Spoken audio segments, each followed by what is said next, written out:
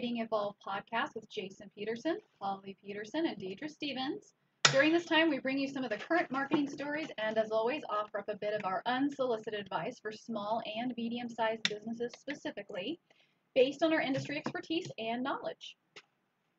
Uh, so we're going to give you the format rundown. So for those unfamiliar with our podcast format, we'll give you a quick refresh. Each segment is timed to make the best use of your time, topic, and to be and to prevent some of us from scurrying down the rabbit hole of tangent land.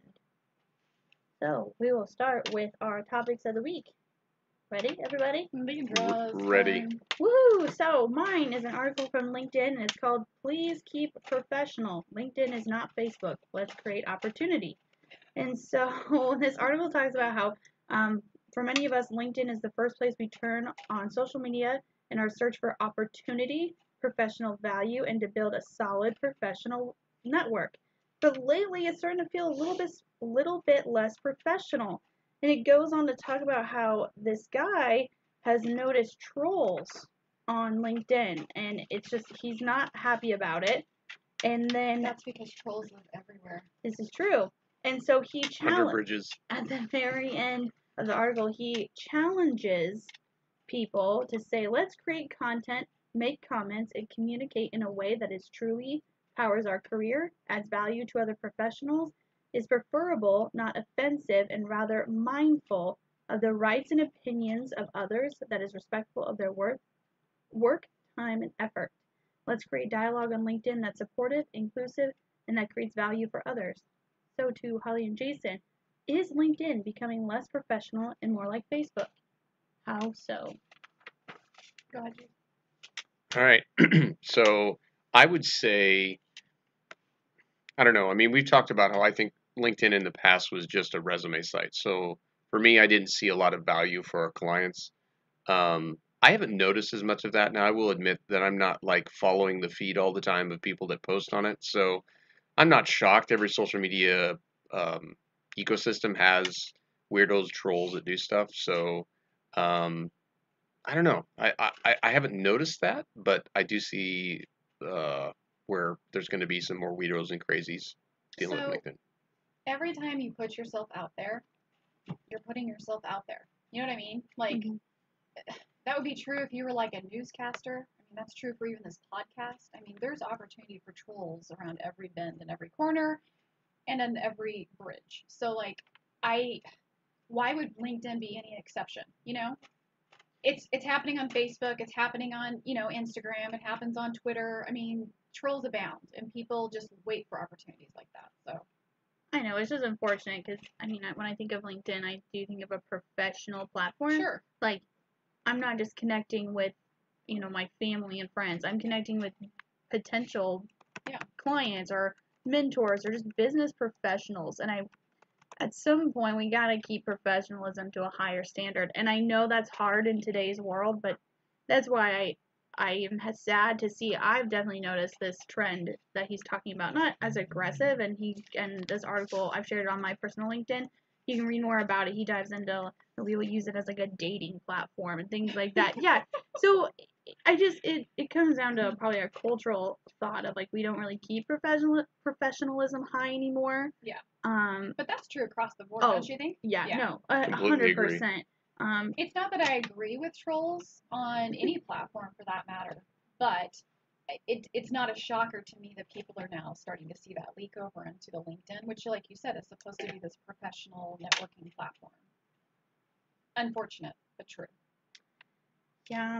I I don't know. It was a really good read. I encourage everyone to to check it out because it got me thinking of like what am I? You know, I don't really post on LinkedIn all that often. It was my goal in the 2019 to do be a little bit more active on there, but spread positive like generate news or just small business news. I Mhm. try to be more prevalent in that aspect, Sure. not not tearing people down. Yeah. Yep. That's what that's to me what Twitter or Facebook is for. like, to tear, I That's just to know. tear people down.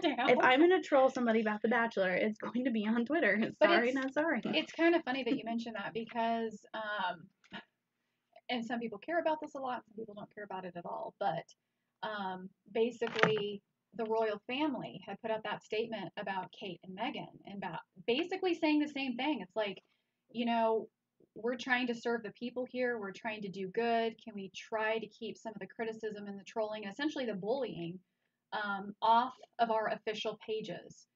And, you know, obviously that's a very, um, for back of, lack of a better way of saying it, I mean, that's a very noble thing to say. And, you know, that's a nice desire to have. Is it realistic? Probably not, unfortunately. I mean, they're very public figures and people like to tear other people down and it's it's really too bad but yeah it's kind of the same thing Yep. I yeah, to me I think it's we talk about the power for good and the power for bad. It's not that we all love social media. It's just that we try to be in the places where clients are having conversations. There's parts of it I enjoy, but clearly there's the other part of it that is quite annoying and not very constructive. And with that, where'd it go? I'm looking so for my much for bell. that bell No, here we go. there it is. Okay, all that's three minutes. right jason it's your go turn for it. Okay. All right. So my take was I wanted to talk a little bit about and and part of this is tech, but it influences us a great deal from a content creation and from a web development perspective, and that is um, the new foldable phone stuff. So um, right now they just had this big international mobile conference. Uh, Huawei came out with an amazing one. That's the one that looks like it says Huawei, but it's actually Huawei. It's a Chinese company. Um, Samsung came out with one. Um, they found re- just recently some crazy patents on on Apple's end that's proving that this is a real thing. Um, again, I, there's always with everything, and I know when I've been on Jack Mitchell show, we talk a lot about leading and bleeding edge, and right now this is on the bleeding edge where the technology is way ahead of itself. It's clunky. I think the Samsung foldable phone, which basically takes like a uh, like a eight plus kind of size, and then it basically just folded in half. But it has continuation screens. There's like six cameras on it. It's just it makes your brain hurt to actually try to understand how it works. Plus, you're folding physically a screen on a phone. So, um, first thing I would say is this is uh, probably one of the first times in a long time, right in the last 10 years, that you're going to probably see some disruption in terms of possible innovation in which how people utilize mobile handheld technology. Now, I think from a marketing perspective, this just continues to reinforce the fact that um, it is extremely difficult, and pretty much every website that's built has to be built in a very fluid, and the term is responsive nature. And that is constantly evolving. And what I saw in the demonstration of the Samsung one was how I think they used Facebook, where it was like you could see it on the front, and then it like as a continuation into the inside. It was totally wacky.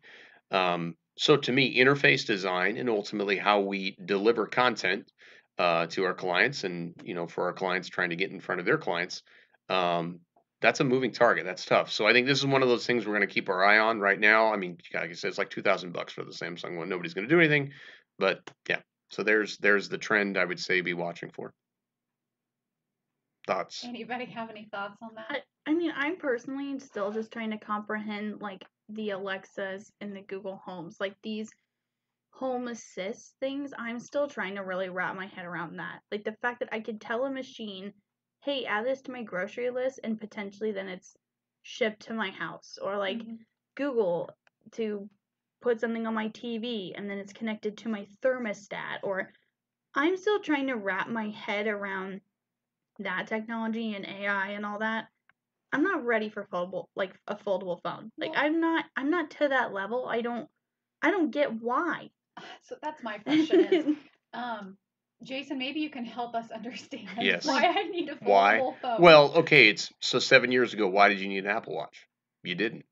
But what happened? i still don't need I an. I Apple Watch. I realize this, even but I have it. if there's anything I've learned is initially I make fun of something, and inevitably in most cases, fun of it. well, I just don't necessarily it's just the function these of it. trends somehow kind of leak in and we don't expect them to become standardized but then they do and so but what apple does better than anybody else is they take stuff that's existing whether it's the smartphone whether it's the smartwatch whether it's the ipod and they fix the issues that make it seem clunky with everybody else? I mean, okay. So if I'm like a scientist or a surveyor, or I'm like working literally out in the field, and you know, I needed some sort of tech that I could literally fold out maybe like a map even or, or something like that. And then when I'm not using it, fold it back up. But like for what they're showing us now, some of these models that they're showing, I mean, they're only talking about taking something like this and folding it like once or once. I'm Yeah. like, what's I mean, the I mean, to me, what it that? is is it's probably trying to blur the lines where you actually can benefit from a tablet use and a phone use at the same time. That that would be my like. I think a lot of people That's what this is for. wishes. I agree. No, but I wish a lot of people. I think there's this need for people that want to have like their iPad as their phone, Mhm. and Correct. that's not really a capability yet. And so I think with these foldable phones, that's the first step of them. Because I mean, I have the X Max or whatever, and that's the biggest screen, you Mhm. know. And but that's still not big enough for some people. I mean, they want it. They want it all basically. So. Yeah. I think that's what this technology is leaning towards, but I'm still ra- one step at a time, people. One step at a time. Yep. So just watch for it. There you go. All right. I'll go for it. My topic. So, okay. So, my topic is actually something that we've been talking about at GenR8 for off and on for, I don't know, a couple of years. As maybe we've had some friends and family that have passed away, unfortunately, and just how that relates to social media.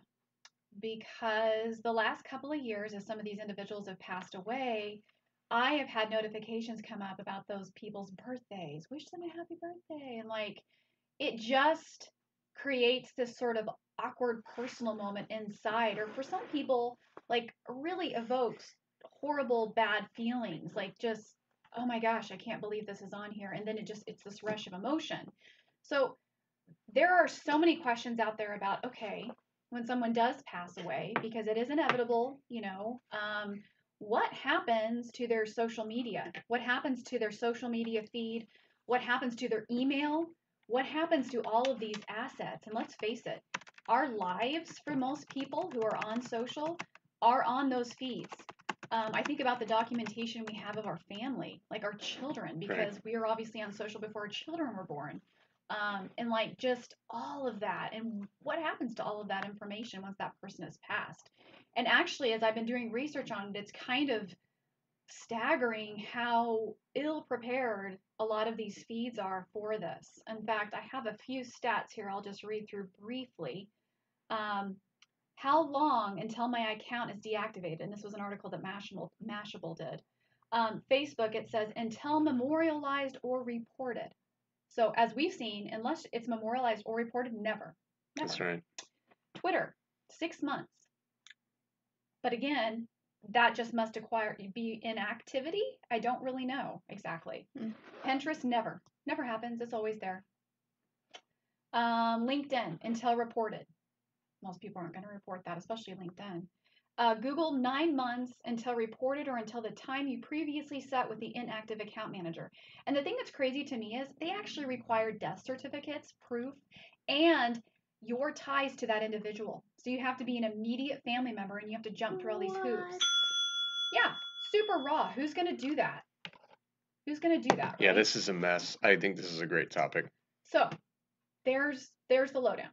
I this is gonna make me probably sound. I mean, granted, I'm the the young millennial here, but I've, gosh, they're gonna have to like put that in people's wills now, like uh, like Agreed. a proper like that is correct. because you're right. Like an email almost is an asset. Really, you house so much information that that is an asset. And any smart lawyer, if there's a lawyer listening, I would just incorporate that into a will of like I'm sure it is. It's- Ours I- actually has a clause about Facebook in our will. I'm I'm sure, but like my thing would be like the passwords and stuff. Yeah, that, anything in the cloud? Yeah, Yeah, like, it's, of a, know, it's a and- mess. And I know probably with some people I could probably like find a way to figure it out, but that's not the thing that stinks. And this is the ultimately the world we live in.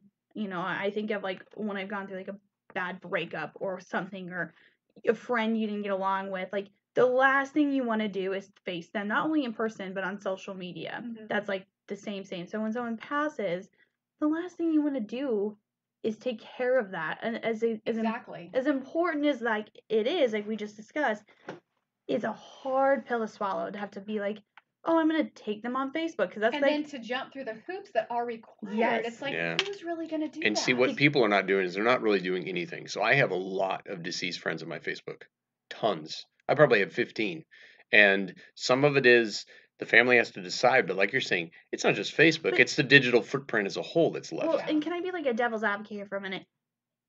Do you think for some people though that's like a good mechanism of grieving of like having can their it, it can be. having their digital identity there? Like well, but that's one of the steps is memorializing it. See, you can change it to become a memorial versus an yes, active and it friend. says that. It says that. Like when you go onto the page, Well- it is understood and acknowledged that this person has passed. Jeez, when well, I can't imagine So you can Facebook does not in have a good pictures. Because what they're doing is if they don't, they do yeah, they're not. terrible. So what they end up doing is you keep getting suggestions, you keep getting reminders like they are alive. So that becomes it becomes even more awkward. So yes, it's well documented. We all know Facebook. You cannot get any help on anything. But no, I, I mean, it's it's the technology is ahead of the utilitarian need to how do you just deal with the natural challenges of somebody passing away, and well, it's and that's one of the crazy things about this too. They said that they were talking about the stats of essentially like when it says, okay, if Facebook stops growing, and that's if Facebook stops growing, right? Um, if they keep growing, so the crossover, so basically living users versus deceased users. Deceased users will cross over to the living users by 2065 because they aren't deleting these accounts. They're not getting rid of these profiles. They're not memorializing most of them. And then it says if Facebook keeps growing, it'll be not until like 2030 at the pace they're growing at. I'm gonna go with the like I have a firm belief that as this generation starts taking care of their parents, Mhm. like as you guys start taking care of your it's gonna probably be on the forefront of your mind more than it has years past. I agree. This is The still, boomers. Yeah, 10 and Facebook's still only 10, 15, 11 years old, Yeah, whatever. the more the tech ages and time Yeah, goes the, on, it's the right. boomers are passing away, and that's the ones I've noticed recently. Um, Slash where- boomers. yeah, sorry about that, but you know, again, they're it's the grandparent age of the ones that have actually been a significant user of Facebook, and they're the ones that, as they age, obviously they're going to be passing away. So, I mean, on our end, clearly, we'll pass on advice and knowledge and stuff on this because I think it is. It's a very, you know, Mhm. practical thing to understand of But how it's to also navigate. a very sensitive subject. Absolutely. Okay, obviously.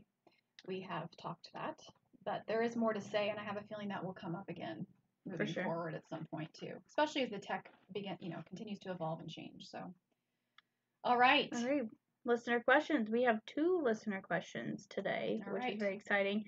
First, we have a Tom the Dobbins. Am I Tom saying- Dobbins. Tom Dobbins. He would like to know Don't be. dis- Don't be. discuss practical practical steps of VPN for home usage. This would be a J- Jason. yes. All right. Jason. question. Okay, so let me first define what this is in layman terms. VPN stands for Virtual Private Network.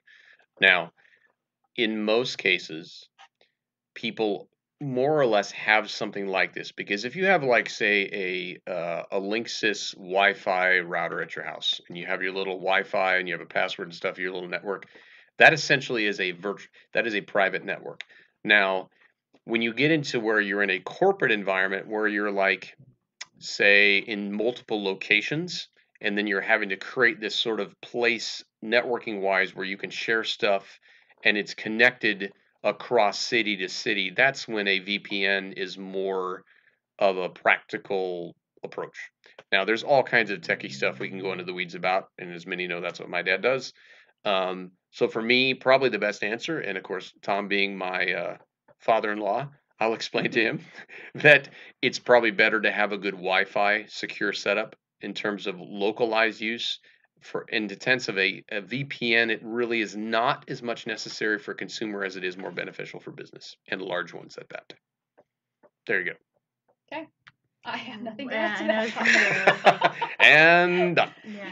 Um, before I read our last question, uh, for everyone listening and for those on Facebook Live, uh, you can always ask us questions. You can um, comment on our stuff on Facebook, GenR8 Marketing, or Instagram, GenR8 Lincoln, Text us. or text us, email us, give me a call. Call However me. you want. Beat me if you want to reach me. All right. Do you guys know what that's from? Nope. I don't. That's Kim Possible. Oh, Nice. All right. That was my age for a minute. All right. The last question is from Chris Dollar um, from My Coaching Dimensions, and she wants to know what the biggest challenge that small business owners have. Dun, dun, Yeah. You want to take that, Holly? Time, time. It's not on our side. No. It's just really not. Um, yeah, I mean, my answer for sure is time. And maybe I'm saying that as a mom. Maybe I'm saying that as a business owner. Um, I don't, yeah, time. Time is very difficult. So it's it's always a kind of a constant juggling act, and um, then you have to weigh. I have five thousand things on my plate. Five hundred of those are important. Which 500 am I going to address? And then on top of that, how much time am I going to spend on each one? So I know, and I had to deal with this initially, especially in marketing. Like, I am one of those people that likes to have a clean desk by the end of the day and do the done and dusted, as my friends in England like to say. Um, but that really just doesn't happen. Yeah, it doesn't happen. So- What What would you say for small business owners listening? You know, where you struggle with time, obviously every single day. But what is your right your one piece of advice of time management? Like, Time how do you keep it sane? Well, I would say, kind of going back to what I was talking about, prioritizing, because Mhm. you're always going to have hot things. You're always going to have things that suddenly drop in front of you on your plate, and it's like hair on fire kind of situation. But you know what? You still have to ask yourself at the end of the day: Is that your hair on fire, or is that someone else's hair on fire? Is that is there is does their emergency constitute your emergency? Yep. So there's that that goes on. Um, but then you also have to say, it's probably going to make sense that if I build some traction a little bit with this hot thing, then I need to move on and build some traction with the next hot thing. So that by the time, you know, I circle, circle around in two to three days, um, is it, they're going to get done, you know, and then I can actually officially say, okay, let's move on to the next set of priorities. And to be honest with you, I'm going to give a little plug to Basecamp. Just Basecamp is what we use at GenR8, and it has helped immensely because there are things that I can put hair on fire dates on and say this has to be done and set those hard limits because I'm a checklist person. Mhm. But then there are also the things I can have floating in there going, yeah, this isn't a priority, but I can work on this, you know, at the end of the day for 10 minutes and feel good about it, you know? Yeah. So that's kind of where I stand. So, many of you know I've basically been an owner pretty much my whole adult life, and this is what I tell. And you know, we get to the opportunity, and we enjoy helping small businesses, some that are existing and some that are startups. Uh, the bottom line is the odds are stacked against you. I mean, essentially, what is it? Ninety-five percent fail in five years. That's a stat that I've heard many times. So the point is, it's what do you, what does the five percent do to get past that hump? I think, like Holly said, is it's being intentional, and a lot of that is about what you spend your time on. You're going to be challenged and pulled in 50 different directions, and frankly, for us, I mean, we're going on our ninth year, and it's still tough. I mean, we are a family business. Some would argue even tougher now. It is. I mean, we've got kids, and we've got Deidre, and we have people, and that we care about as our team, and mouths to feed, and clients to make happy. And I think at the end of the day, it is about trying to truly discern what is has to be done that day and what are things that you know again i think stress wise what can you control and what can you not?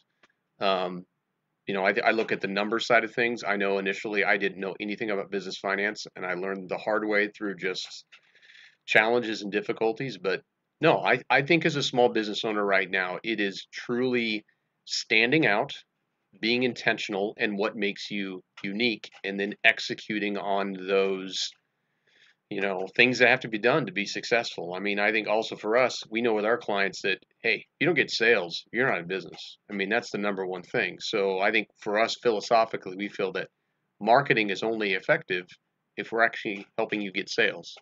Um, but it's tough. I mean it's tough. Now again i think i would also argue it's one of some of the most rewarding stuff we've ever been able to do as far as i know for us it's about our kids and we get to decide and build a team and Flexibility. flexibility and stuff. So, um, but I know for us, like, you know, unless you say I'm going to go on vacation, Yeah. you'll never go. you, you literally pencil it in. I mean, you have to count. And we've just finally started doing that the last two years. Some of us is that you know financially you get to a point where okay, you know, you can actually like take a break for a week and be able to keep things going on. But But you're never unplugged. no, you're never truly unplugged.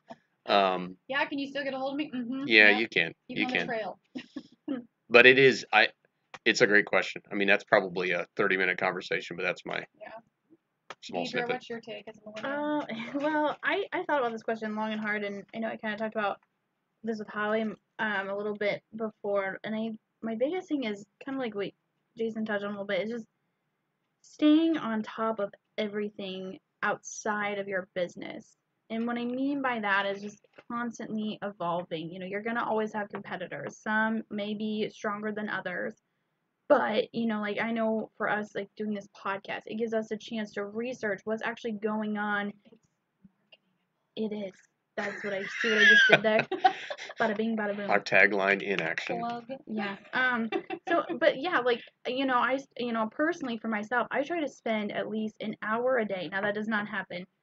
Thirty minutes maybe, and I just read the local news or I read the tech news or Me I, too. I try to because there's so much going on and Yep. and things could just fly by. But you know, as a small business owner, you get so consumed in in what you're doing that I think sometimes the world around you continues to evolve. Yeah. And then it kind of hits you in the face one day, and then that's when we have clients that come to us and they're like, hey, we need to solve this problem. And it's like, whoa, you're just now realizing this problem now. This problem was six months ago. That's right. Yeah. But when you when you're an owner, you have I I get it. You you're like Jason and Holly both said, you got time and lives, and so those things seem small and then become big. I understand that.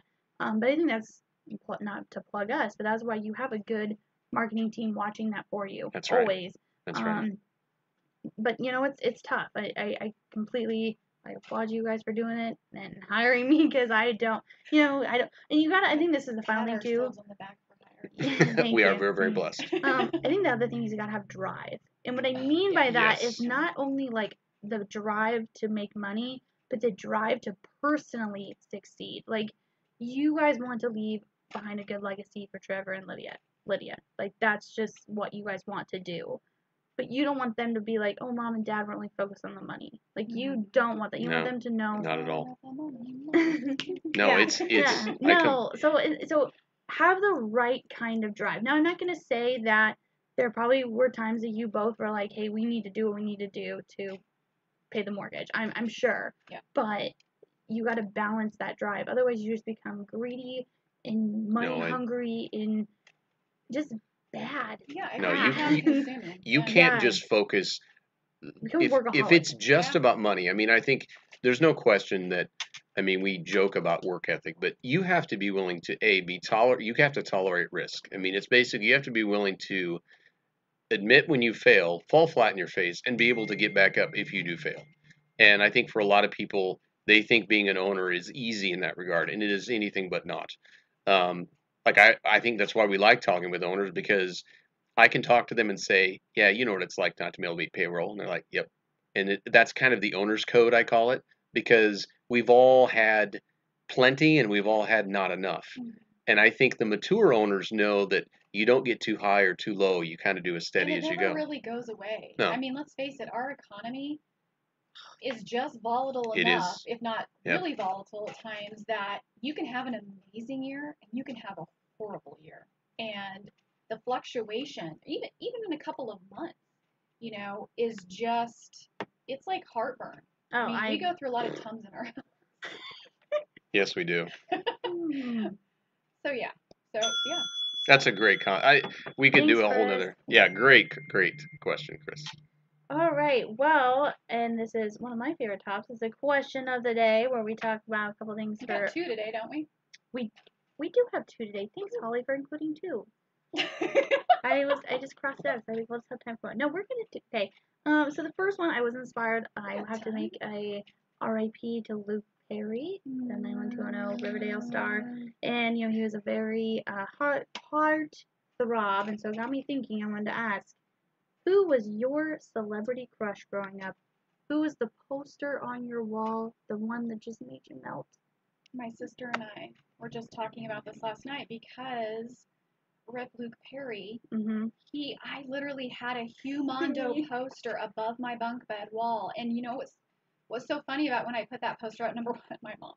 did it. um, you know, moms can't ever picture their daughter getting to that age where they're like, ooh, dreamy.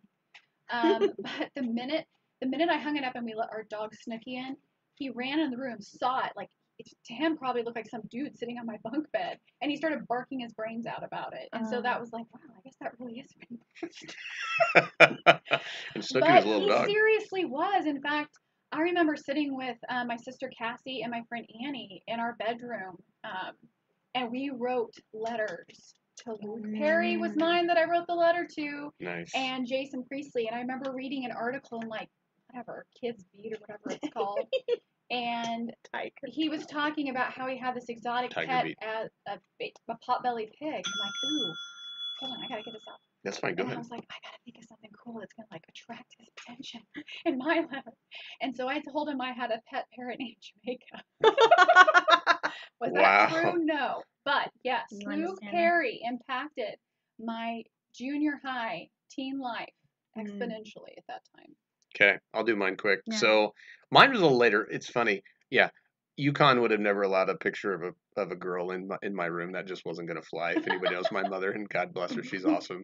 So, but as I got older, I would say Jennifer Aniston was my over the top. I I was a smitten kitten about her, and some may like, Ugh, but no, I did. I as I must admit, she was she Well, was my okay, heartthrob. I, and Deidre, obviously, you're you're mirroring my sentiment here. What was the thing with Jennifer Aniston? Is it Friends? Help me understand. Yes. Okay. Yeah, it was friends. It- I'm not talking about later on. I'm talking about like I can, just Was it the she had a it was it was the hair it was she had kind of that sassy but like smart aleck kind of personality and i'm I'll speaking to forgive The friends Friends, Jennifer Aniston. Anything after Nah, that, like eh. the Aveeno commercial, No, uh-uh, I'm not- out.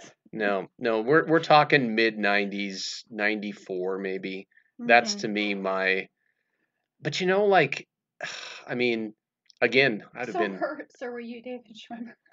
no, i don't know it's a good question Is that Ross? he was pretty lame. Although I did, eh, he was a very amusing character. I will admit that. But no, like that, that was probably Always mine. admired from afar. Mine from afar. But I did not write any letters to her. I will Oh, admit, I did man, not do anything in that. Mm. Um, You I believe. in your room with your friends listening to cocktail soundtrack writing letters. Wow, that's a good soundtrack Cocktail. too. Ooh, little memory lane there. Yeah, that's good. No, I'm gonna one up you. You gotta listen. Okay, you're, so now you go to for it. any Tom Cruise movie album, you're gonna listen to Top Gun. I'm sorry. Oh, good grief. yeah, yes, that was a classic. before. We used to Oh. play Like, that. In the moment. We'd play sand Okay. volleyball to it. Actually, it's my cheesy. God. That's not, that's a total truth. Oh god. When we played sand How volleyball much- in college, how much they would oil always. did you have on your body at that time? My Yeah. goodness. That was back when they didn't put any. We didn't put any on. sunscreen. No, I was. they a- just put the oil. skin I was just a brown bear.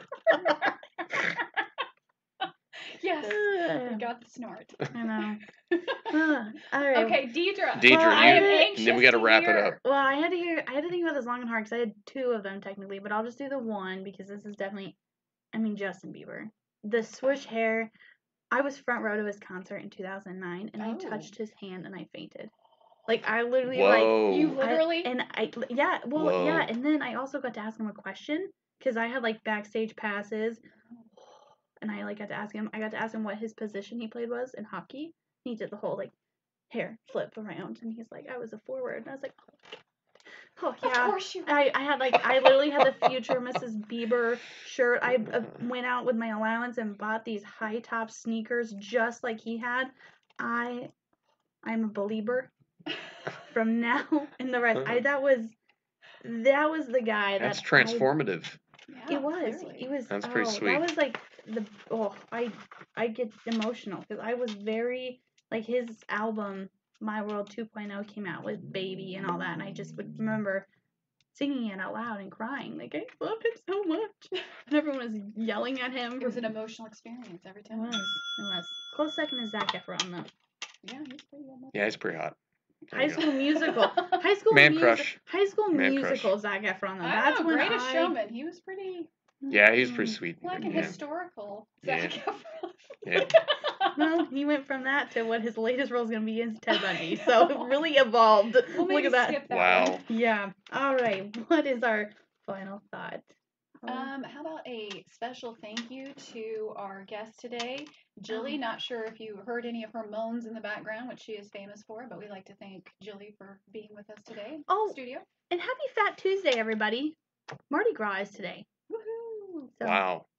Yeah, so tomorrow be thinking about if you do practice Ash Wednesday, what you're going to give up or what you're going to do. Think of that over the next 40 days before the Easter Bunny comes and knocks on your door. I'm still dreaming of snow melt. My gosh. yeah, but uh, yeah, happy Fat Tuesday. Thanks for listening, everybody. Thank how you. about a throw out on our handles, Deidre? You can follow us on Facebook, GenR8 Marketing, and that's G E N capital R 8, like the number 8 marketing. And then Instagram is GenR8 Lincoln. Same thing with Twitter. Yep. And then you can also follow us on our personal platforms as well. I'm at Miss Deidre S. Jason and Holly. Uh, Jason Or- Jason Lyle is mine. yep. Or email us directly at info at genr8marketing.com. Thanks, Thanks for everybody. listening, everybody. Thank you, everybody.